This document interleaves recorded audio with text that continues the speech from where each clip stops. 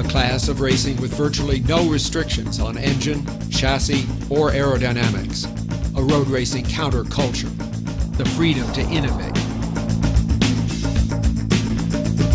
A new race series has been created for the Group 7 cars, the Canadian American Challenge Cup, or Can Am.